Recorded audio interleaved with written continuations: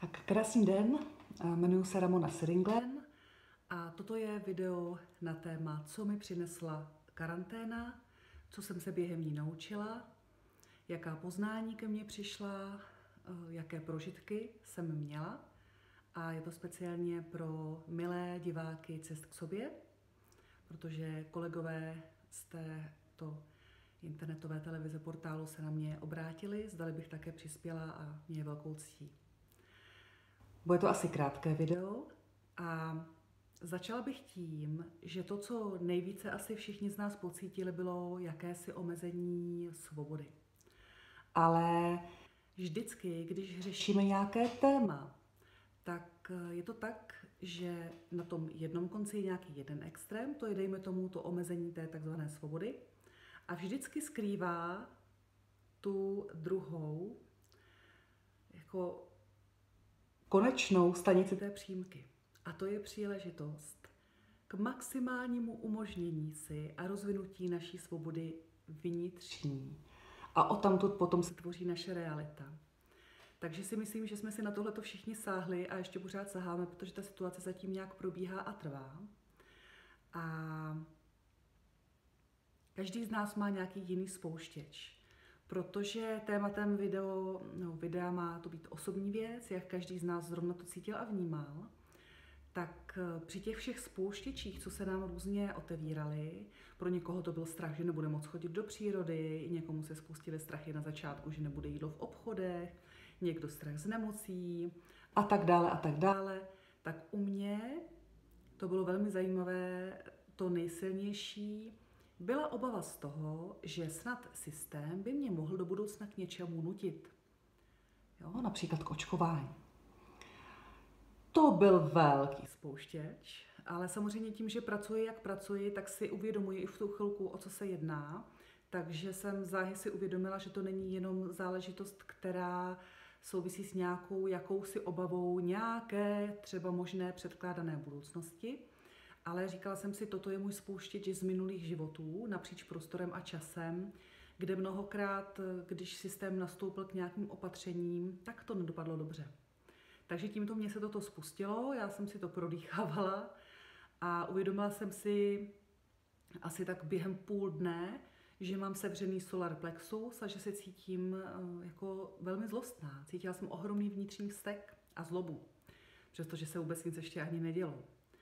Takže jsem si říkala, a tady se něco děje na kolektivní rovině a já to zpracovávám. Takže jsem si to umožnila tím procházet. Ono, i když člověk pracuje z nějakého nadhledu, tak pořád jsme lidé a máme právo na své lidské pocity. A mnohé nám jak si vyvírají z našich předchozích zkušeností, takže víte, že eh, jsme si všichni zažili, že na každého fungovalo něco jiného. To byla věc a zajímavé uvědomění pro mě, a také to, že zkrátka někde ve mně byl zápis, že nechci mít problém se systémem. Což se někomu může jít zvláštně, protože eh, pracuji tak, že vedu lidi ke své vlastní síle, pomáhám jim, aby se osvobozovali zevnitř. Ale představa, že bude něco nějak vysoce restriktivní, tak to pro mě bylo představitelné. Takže s tím jsem si pracovala. A pak, to bude možná pro někoho z vás také zajímavé, jsem si uvědomila, jak ohromnou svobodu potřebuje můj fyzický chrám. A první věc je taková spíš pro pobavení. Víte, že my jsme takový národ plný humoru, takže se vyrojila spousta různých žertů, co budou některé dámy dělat, jak si po dobu karantény, jo, že jak si budou vycházet potom ven zcela jiné, než když karanténa začínala, tak já nejsem ten případ, ale například jsem byla zvyklá využívat služeb kadeřníka kvůli přelivu. A uvědomila jsem si, že to již nepotřebuji, že to není nutné a že si přeji nechat svým vlasům svobodu, ať si dělají, co chtějí, ať se rostou, jak chtějí a chtějí-li se projevovat nějakými krásnými stříbřinami, tak prosím. Takže to bylo velké uvědomění pro mě a získala jsem takový pocit osvobozující, přestože nikdy jsem na tom nějak nelpěla, ale vždycky jsem si říkala, a tak už jak si ty odrosty trošičku mají jinou barvu a, a tak ať to mám upravené. Tak jsem si říkala ne. A ten pocit, když jsem zaznamenala vědomí mých vlasových kořínků a vlasů, když jako pochopili, že to myslím vážně, tak u nás v rodině se říkalo, to je radosti na starém bědle. Tak takhle přesně radost. Radost mých vlasů, že konečně jí to došlo. Ale pozor, milé mé drahé dámy, je to samozřejmě u každé z nás jiné. Konejte a dělejte, co cítíte a co potřebujete. Je v pořádku pro jinou dámu do svých 90 let si vlásky barvit a je to prostě skvělé a patří to k ní. Dělejme každá, co cítíme, ať je nám dobře, ať se cítíme svobodně. Další uvědomění během karantény velmi zesílené je, že i naše fyzické chrámy chtějí svobodu. Co to přesně znamená? chtějí se svobodně hýbat. Naše fyzické chrámy mají různé svaly, některé i hluboko uložené, o kterých kolikrát nevíme o nich ani pořádně o těch svalech. A teďka to tělo ale je chce používat. Chce se hýbat. Potřebuje a touží pracovat tak, jak správně pracovat má. To znamená, i naše chodidla chtějí svobodu, chtějí mít ty správné boty. Tak jako si i naše kostra přeje dělat to, co je správné a to, co potřebuje. A to bylo pro mne během vlastně těchto opatření velmi zajímavým uvědoměním. Já i za běžných okolností mám dosti sedavou práci, protože jsem jako průvodce, s lidmi sedím, sdílíme, mám hodně mentální aktivity, když přijímám nějaké poselství, informace, sedím u toho. Mám dvě děti, které vozím autem do práce, no do práce, do školy, kde teda mají práci. Takže to jsem si uvědomila, že je jakýsi přelom pro mě a že opravdu budu potřebovat věnovat svému tělu mnohem větší pozornost než dosud, že si to žádá a že je to jeho božské právo a že to potřebuje k prožívání své svobody a následně i já k prožívání své svobody. Víte, že náhle ze dne na den zůstaly doma e, rodiny nebo nějaké skupiny spolubydlících a tak dále, takže já jsem žartovala, že to byly takové nevyžádané rodinné konstelace a vašim přátelé zadarmo. Někteří z vás by řekli, že ne, že to nebylo zadarmo, že jsme na to dopláceli ještě, že jsme nemohli pracovat nebo nemůžeme zatím pracovat a tvořit většina z nás tak, jak jsme zvyklí. Ale i tohle byla velmi zajímavá a je zajímavá příležitost eh, poznat se víc mezi sebou za určitých okolností a je to nádherná příležitost opravdu zjistit, co je opravdové a co je pravé.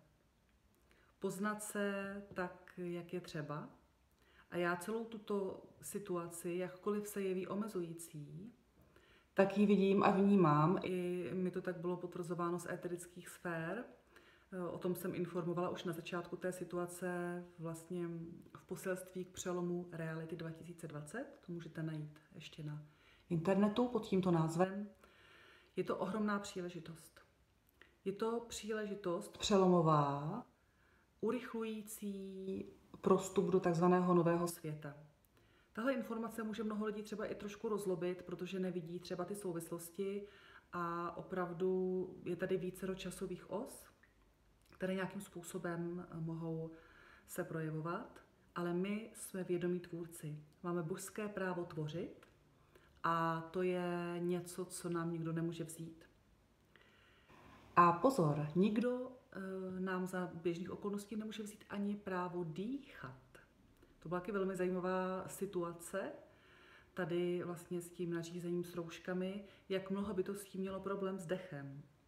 A dech je něco, co nás spojí s božským éterem, dokud jsme ve fyzickém těle. My máme právo svobodně tvořit a svobodně nadechovat život a tvůrčí sílu a žít sami sebe. A toto tady, kdy, víte, že vždy, když se rodí něco nového, tak se zkrátka něco starého bourá a umírá. A ne vždy je nám to pohodlné. Máme zvyky staré, jsou tady nějaké zajeté, uh, zajetá pravidla, životní styl. A náhle my, když se nenecháme ochromit nějakým strachem a tím, že nechceme vkročit do nového, tak můžeme spoustu věcí změnit. Takže mě osobně ta takzvaná karanténa přinesla hlavně trošku zastavení. Otevřela jsem se určitým možnostem a příležitostem třeba pracovně, i co se týče technologií, co dříve jsem neměla zkrátka potřebu, to se asi stalo mnohým z nás. A je to o tom být připraven na to, že když se mění nějaká situace, tak si ji vytvořím podle svého a nějakým způsobem se přizpůsobím. Samozřejmě v ideálním případě tak, že nezradím sám sebe, sama sebe, a že žiju a tvořím podle principů, tak jak to cítím, jako duše, jako bytost. A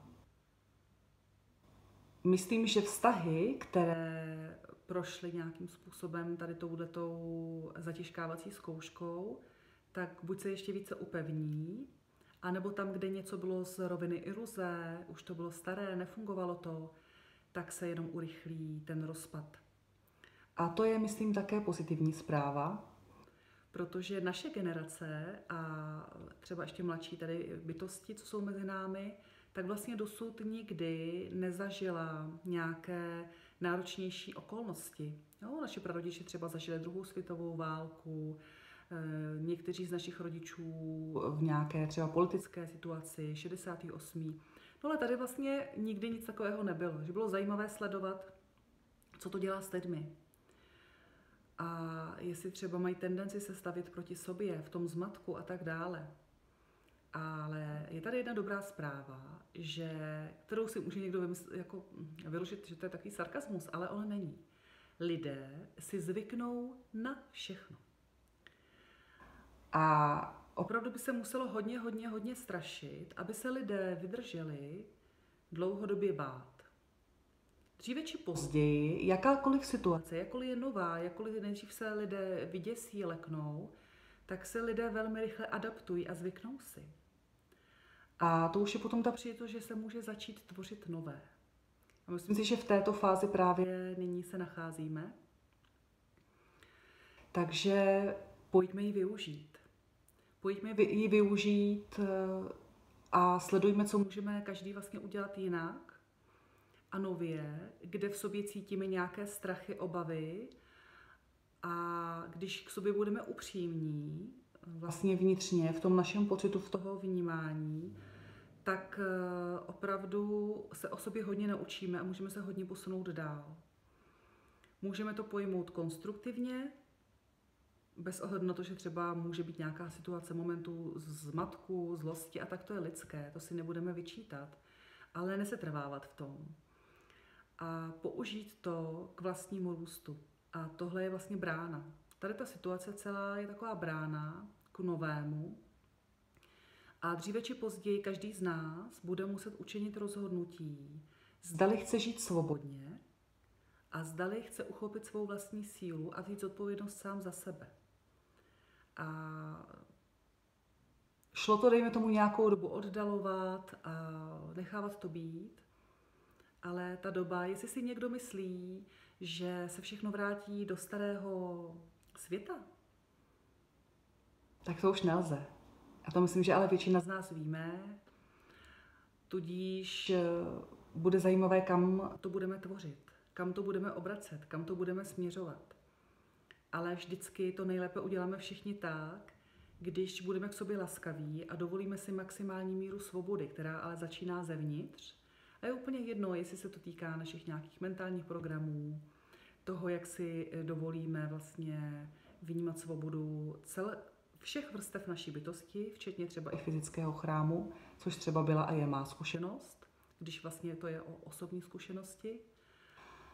A je to o nějakém respektu sami k sobě a poznání toho, čeho se vlastně bojíme a proč. A vždycky, když se ptáme proč, tak přijde odpověď. Takže jde o to jenom, jestli chceme slyšet.